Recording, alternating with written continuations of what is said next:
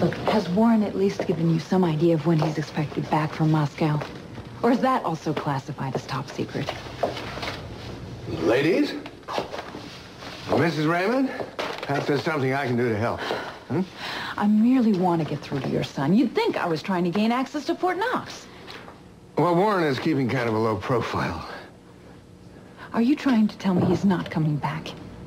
No. What I'm trying to tell you, Mrs. Raymond, is that Warren has his hands full at the moment, and from the looks of things, so do you. So what I am suggesting is that you go home and do what you had to do and let my son do the same thing. Look, I am only trying to get in touch with Warren, to talk to him. I'm afraid for him. Have you thought about what might happen if he decides not to come back and face the charges against him? He'll be back. I know my son.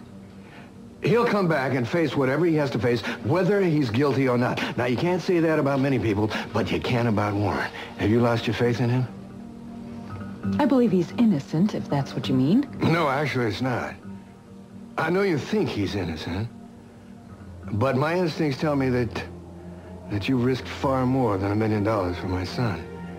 And my curiosity says, well, I just wonder what the real stakes are.